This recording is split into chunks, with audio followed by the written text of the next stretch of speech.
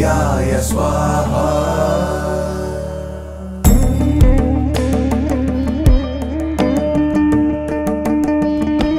పాహి మామో భాస్కరా పయనమే సాగించరా ఎద చీకటుల్ని తొలగించరా ప్రతి గుండెనింక వెలిగించరా జగమంతా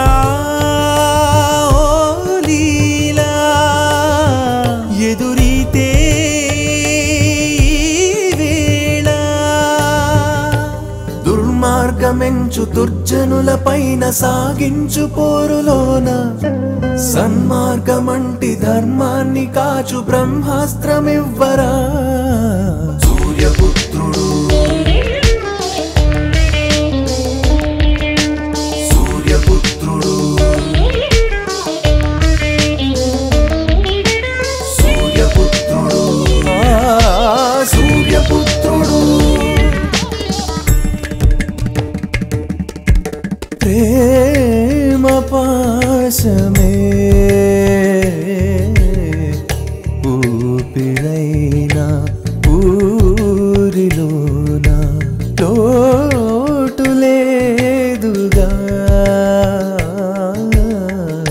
పైరుకైనా పాడికైనా. దేవుడే కట్టినా కోవిల ఇల్లుగా మారిన నాడిలా. ఆనందమైన వేదనైన వెన్నంటి సాగు బంధం.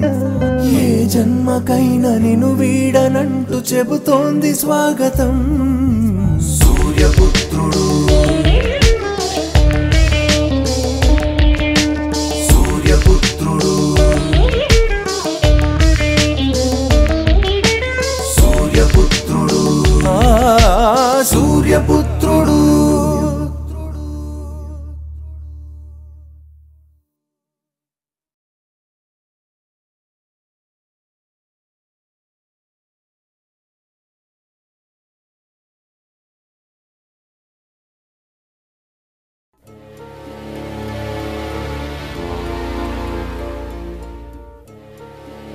స్నేహ ఈ కలర్ నీ కాలికి చాలా బాగుంది కదా?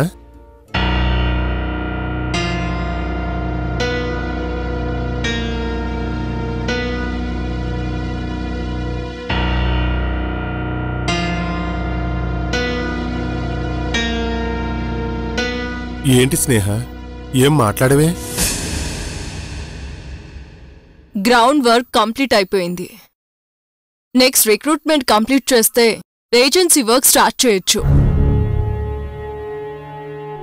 మంచి ప్రాజెక్ట్స్ పట్టుకోవాలండి. ఎంత కష్టపడి పని చేస్తే కంపెనీ అంతే తొందరగా ఫేమ్లోకి వస్తుంది. మీకేమైనా ఐడియాస్ వస్తే చెప్పండి. నన్ను అడుగుతావేంటి స్నేహ? నాకేం తెలుసు? ఐడియా నీది ఆఫీస్ నీది. అక్కడ నేను జస్ట్ పనుణ్ణి మాత్రమే. నా పనేంటో అది ఎలా చేయాలో చెప్పు. అది చాలు. అది కదండి ఏం జరుగుతుందో మీకు కూడా తెలియాలి కదా. చూడు స్నేహ నాకు అవన్నీ ఎందుకు చెప్పు? ఇప్పటిదాకా నాకు తెలిసింది కొట్టడాలు నరకటాలు. అవి ఇక్కడ పనికిరావు. కాబట్టి నేనేం చెయ్యాలో నువ్వు నాకు నేర్పించు. కానీ ఒక కండిషన్. ఏంటది? నువ్వు నాకు ఏ పని చెప్పినా నేనే పని చేస్తున్నా నువ్వు నా పక్కనే ఉండాలి.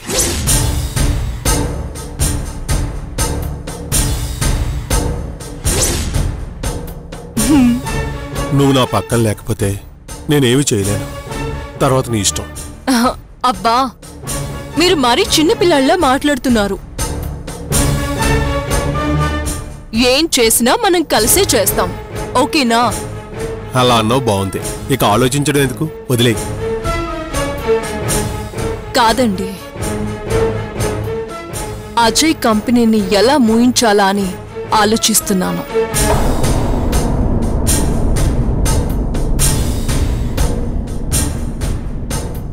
చూడండి. ఈ బిజినెస్లో మనం నిలదొక్కుకోవాలంటే అజయ్ కంపెనీకి గట్టి పోటీ ఇవ్వాలి. అప్పుడే అందరి ఫోకస్ మన మీద పడుతుంది. అలా జరగాలి అంటే చాలా మంది హెల్ప్ తీసుకోవాలి. చాలా మందిని కలవాలి. చాలా చాలా హార్డ్ వర్క్ చేయాలి.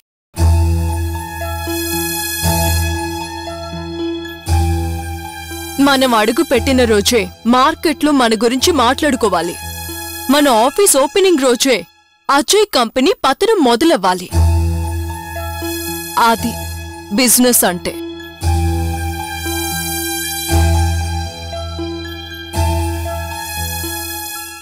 నీ టార్గెట్ అజయ్ అజయ్ బిజినెస్సా?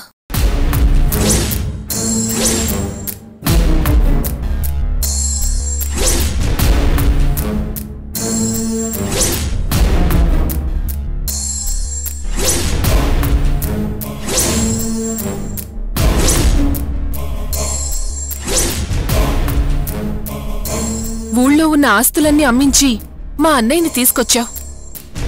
మా అన్నయ్యకి తెలియని వ్యాపారంలో అడుగు పెట్టించావు. బలవంతంగా ఈ యాడ్ ఏజెన్సీ ఓపెన్ చేయించింది అజయ్ మీద పగ సాధించడానికేనా?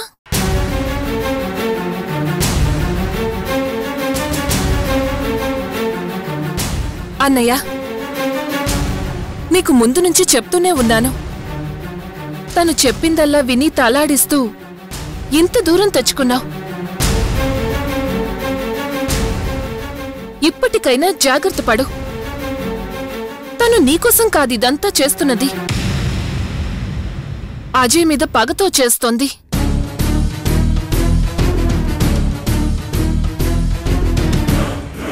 ఏంటి నందిని నువ్వు మాట్లాడుతోంది? నేనేం తప్పు చేశాను? మీ అన్నయ్యతో కంపెనీ పెట్టించి ఎండీ చైర్లో కూర్చోబెడుతున్నాను. అది తప్ప?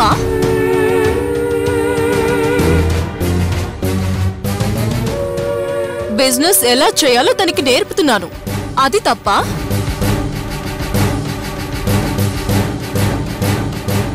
అసలు నీకు బిజినెస్ గురించి ఏం తెలుసు నందిని? ఇది వ్యాపారం. ఇక్కడ లాభం నష్టం ఉండాలి తప్ప వ్యక్తులు అభిమానాలు ఉండకూడదు.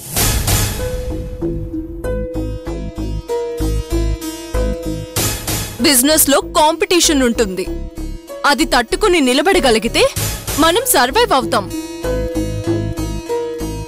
మనం చేస్తున్న బిజినెస్లో అజయ్ కంపెనీ టాప్లో ఉంది.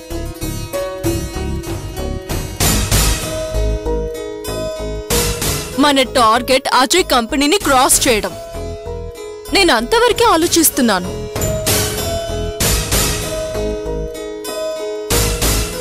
ఇక్కడ కంపెనీల మధ్య కాంపిటీషన్ తప్ప వ్యక్తుల మధ్య పోరాటం కాదు. అక్కడ అజయ్ ఉన్నా లేకపోయినా నేను ఇలాగే చేస్తాను. ఇక్కడ నా ప్లేస్లో ఎవరున్నా ఇలాగే ఆలోచిస్తారు. నందిని ఎందుకు నీకు ఇవన్నీ?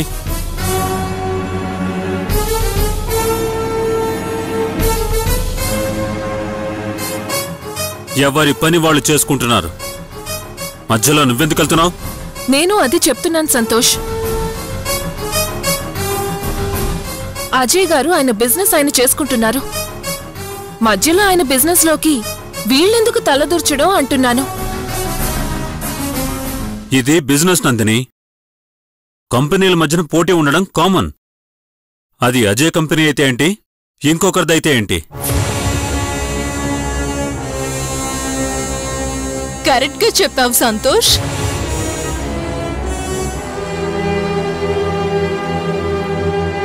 సూర్యపుత్రుడు.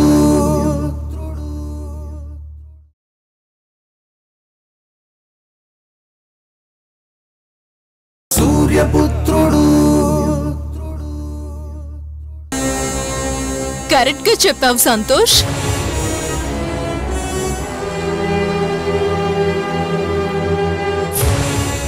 నందిని మీ ఆయనకి అర్థమైనంత కూడా నీకు అర్థం కాలేదు. ఏమండి ఇంటి గెలిచి రచ్చు గెలవాలంటారు. మనం రచ్చ గెలిచినా ఇంట్లో గెలిచేలా లేము. ఇలా అయితే బిజినెస్లో మనం సక్సెస్ అవ్వలేము.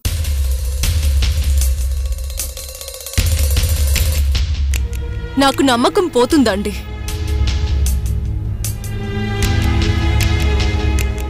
మనింట్లో అందరూ నా మీద అనుమానపడుతున్నారు.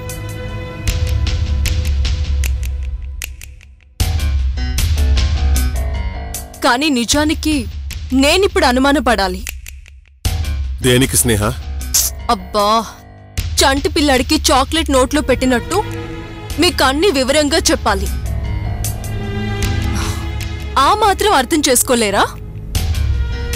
మనం బిజినెస్లో సక్సెస్ అవ్వాలని ఎన్ని ప్లాన్స్ వేస్తున్నాం? ఎన్ని విషయాలు మాట్లాడుకుంటున్నాం? ఇవన్నీ బయటికి తెలిసిపోతే మనం ఎంత చేసి ఏం ప్రయోజనం? అంటే మీకు నందిని చెప్తుందని డౌటా అండి? అది కాదు సంతోష్. ఎవరిని అనుమానిస్తే ఏం లాభం చెప్పు? అభిమానం ఎంత పనైనా చేయిస్తుంది. విన్నావా? నీ గురించే అంటున్నారు. నేనేం చేశాను సంతోష్? ఏం చేయకూడదనే చెప్తున్నాను. చూడు ఇక మీదట నీ సెల్లో నుంచి వాడికి ఒక్క కాల్ కూడా వెళ్ళకూడదు. నా మాట కాదని ఫోన్ చేసినా నన్ను మోసం చేసినా నిన్ను నిలువునా నరికేస్తాను? అలా మాట్లాడతావేంటి సంతోష్? ఎలా మాట్లాడాలి? మామూలుగా చెప్తే నువ్వు వింటావా? అన్నయ్య ఫ్రెండ్ అంటూ కహానీలు చెప్తావు. అవి వింటే ఇదిగో ఇలాగే మాట పడాల్సి వస్తుంది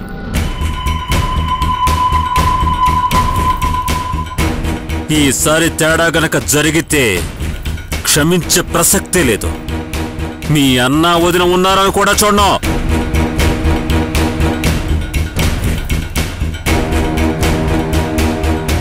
హ్మ్, రా లోపలికి.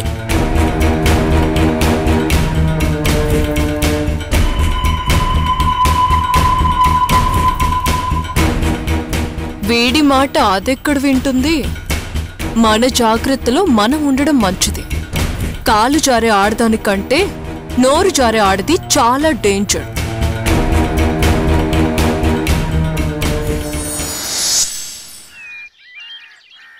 తెలీదంటావేంట్రా? తెలియంది తెలియదనక ఇంకేమంటారే? చిన్నపిల్లాళ్ళగా మాట్లాడక ఆదర్శ్. మనం జాబ్ చేస్తున్నాం. బాధ్యతగా ఉండాలి. తప్పు జరగకుండా చూసుకోవాలి. ఒకవేళ తప్పు జరిగితే ఎక్స్ప్లెనేషన్ ఇచ్చుకోవాలి. అడగడం బాస్ హక్కు. సమాధానం చెప్పాల్సిన బాధ్యత మనకుంది. అందుకే కదా చెప్పాను నేను మర్చిపోయాను అని. అయినా నేనేమైనా మిషన్నా? చెప్పింది మర్చిపోకుండా చేయడానికి. నేను మనిషినే. మనిషికి మతిమరుపుంటుంది. నేను అలాగే మర్చిపోయాను. ఆదర్శ్ మర్చిపోయాననేది నువ్వు మేడం కూడా చెప్పావు. బట్ ఎందుకు మర్చిపోయావు అనేది రీజన్ చెప్పాలిగా? అసలు ఏం మర్చిపోయావు? కొటేషన్ పేపర్ ఎక్కడైనా మర్చిపోయావా? లేదా కొటేషన్ టైప్ చేసి మెయిల్ చేయడం మర్చిపోయావా? అసలు కొటేషన్ సంగతే మర్చిపోయావా? ఇలా మేడంకి ఏదో ఒక ఎక్స్ప్లెనేషన్ ఇవ్వాలిగా? మనం ఇలా మర్చిపోకుండా ఉండడానికి ఆఫీసులో కంప్యూటర్స్ సెల్ ఫోన్స్లో రిమైండర్స్ ఉన్నది. It's not a small mistake Adarsh ఇందులో మనీ అండ్ డిసిప్లిన్ రెండు ఇన్వాల్వ్ అయి ఉన్నాయి. సో నువ్వు ఎక్స్ప్లెనేషన్ ఇచ్చే తీరాలి. అరే బాస్ నేను మర్చిపోయానని చెప్తున్నాను కదా. సిల్లీగా మాట్లాడక ఆదర్శ్ నువ్వు మర్చిపోయానని చెప్పింది నేను మేడంకి చెప్పలేనుగా. ఏం జరిగిందో కనిపెట్టమని. మేడం బాధ్యత నాకు అప్పగించారు. కనిపెట్టారా? నేనేమన్నా తీవ్రవాదినా? లేదంటే ఏదైనా స్కామ్ చేశానా? ఇందులో ఇందులో కనిపెట్టడానికి ఏముంది రేయ్ ఊరికే ఆర్గ్యుమెంట్ని ప్రొలాంగ్ చేస్తావెందుకు? తప్పు జరిగిందని తెలుసు. దాన్ని ఒప్పుకో. ఆ ఒప్పుకున్నానుగా.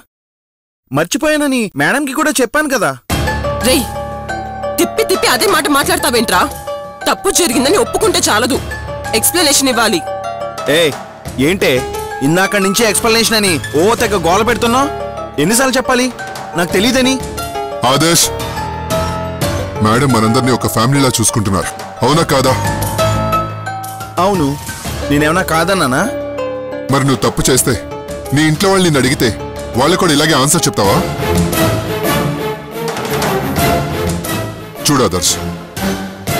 ఆవిడ మనల్ని సొంత మనుషులా చూసుకుంటున్నారు కదా అని మనం అడ్వాంటేజ్ తీసుకోకూడదు. మన బిహేవియర్తో ఆవిడని హర్ట్ చేయకూడదు. ఆఫీస్లో ఆవిడ బాస్ మన ఆవిడ దగ్గర వర్కర్స్. అడిగిన దానికి కరెక్ట్గా ఆన్సర్ చెప్పాలి. చేయాల్సిన పనికి బాధ్యత వహించాలి. అసలు మేడం ఎందుకు ఎక్స్ప్లెనేషన్ అడుగుతున్నా తెలుసా? నువ్వు చెప్పిన ఆన్సర్ ఆవిడకి కన్వీనియన్సింగ్గా అనిపించలేదు. నీకు బాధ్యత లేనట్టు అనిపిస్తుంది. అసలు అసలు మీకేమైంది బాస్? డైలీ సీరియల్ లాగా ఈ మ్యాటర్ని ఓ తెగ సాగదీస్తున్నారు.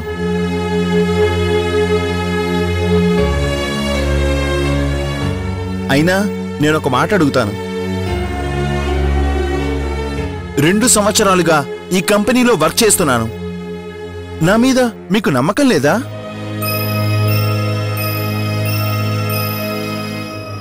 ఈ టెండర్స్ కాంటాక్ట్స్ కొటేషన్స్ ఈ వర్క్ అంతా ఇన్నాళ్ళుగా నేనే చూస్తున్నాను కదా? ఏ రోజైనా తప్పు జరిగిందా?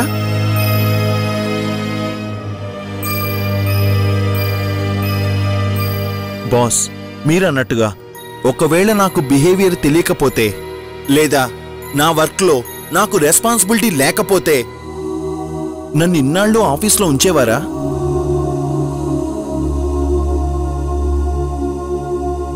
ఏ? మీరెవరూ ఎప్పుడు తప్పులు చేయలేదా? తప్పు జరిగింది. అది నేను ఒప్పుకుంటున్నాను.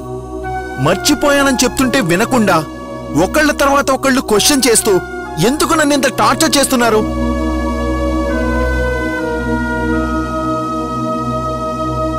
ఏంట్రా? టార్చర్ అంటావేంటి నేనంటే ఓకే. కానీ అజయ్ గారు అడిగిన దాంట్లో రీజన్ ఉంది కదా. ఆయనకి అడిగే అథారిటీ కూడా ఉంది. ఓహో! ఆయన కరెక్ట్గానే మాట్లాడుతున్నారా? అంటే నేను అబద్ధం చెప్తున్నానన్నమాట. ఏంటి? ఈ మధ్య అజయ్ గారు ఏం చేసినా ఏం చెప్పినా నీకు న్యాయంగా అనిపిస్తుందా? నాకన్నా అజయ్ గారి మీద నీకు నమ్మకం బాగా పెరిగినట్టుంది. సూర్యపుత్ర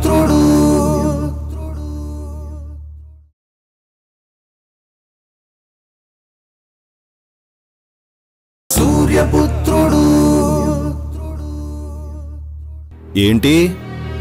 ఈ మధ్య అజయ్ గారు ఏం చేసినా ఏం చెప్పినా నీకు న్యాయంగా అనిపిస్తుందా?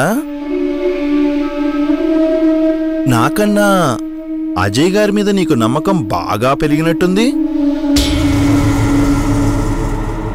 రేయ్ నేనే మాట్లాడుతున్నాను నువ్వే మాట్లాడుతున్నావు. నీకు తెలుస్తోందా? మధ్యలో అజయ్ గాని ఎందుకంటావు? ఆయన మన బాస్. ఆయనని కామెంట్ చేస్తావేంట్రా? అబ్బా బాసా? అయితే ఆఫీస్లో పెట్టుకోమను ఇంట్లో కాదు.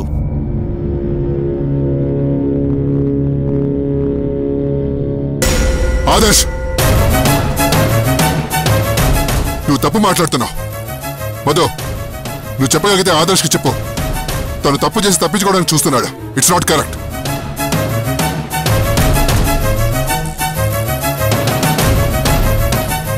ఆదర్శ్ నువ్వు ఆపవే నీ గోల. అది కాదురా. నీ మంచికే కదా చెప్తోంది. అబ్బా! మీ ఆడోళ్ళంతా ఇంతేనే. పక్కన ఉన్నవాడికి సపోర్ట్ చేయరు. మిమ్మల్ని నమ్మి మీతో వస్తే నాశనమే. ముందొచ్చిన చెవుల కంటే వెనకొచ్చిన కొమ్ములు వాడని ఊరికే అనలేదే. ఛే! ఆ- ఆదేశ్!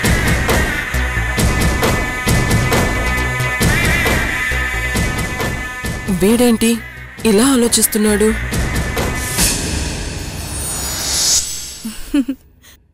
తులసి రా.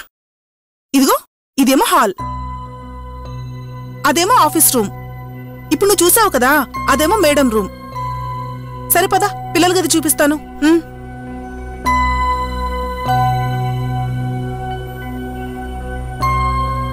రా. ఇదిగో పైనేమో మనం ఉండడానికి గదులుంటాయి. సామాన్ పట్టుకునే గదులు కూడా ఉంటాయి. రా పిల్లల గదులు చూపిస్తాను. రా. ఇదిగో ఇక్కడంతా పిల్లలుంటారు.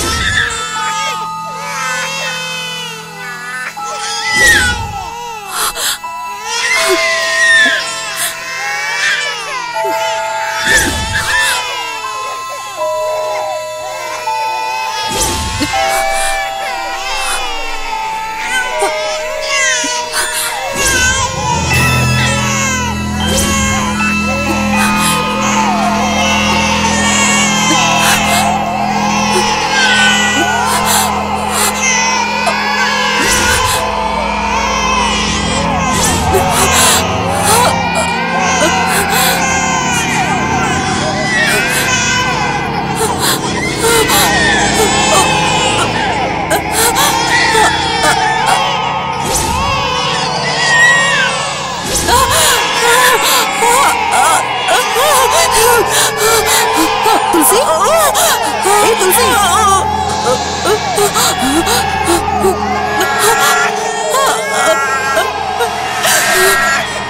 తులసి?